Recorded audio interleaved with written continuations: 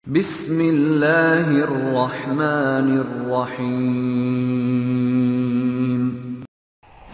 Endorkan resmi masukkan materi jihad dalam kurikulum pendidikan nasional.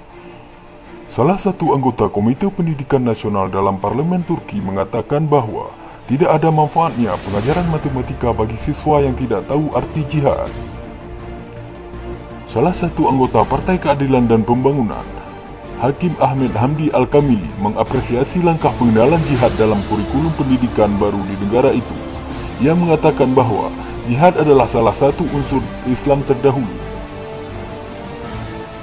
Situs Hurriyet menukilkan perkataan Al-Kamili bahawa ketika kita melihat para Sultan Ottoman, hampir semua dari mereka tidak pergi haji karena tidak ingin absen dari jihad.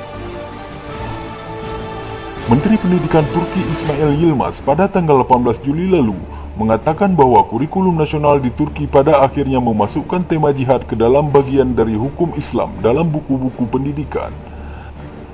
Dan ia mengatakan, jihad adalah salah satu unsur dalam agama kita. Tugas dari Departemen Pendidikan untuk mengajarkan setiap konsep dengan cara yang benar. Kami juga bekerja untuk memperbaiki pandangan terhadapnya atau hal-hal yang salah dalam pengajarannya. Kementerian kami telah mengambil keputusan yang sangat penting.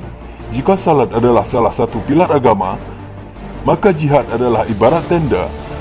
Sebuah tenda tidak akan terbangun tanpa adanya pilar-pilar. Tidak ada manfaatnya mengajarkan matematika kepada anak bila mereka tidak mengetahui makna jihad.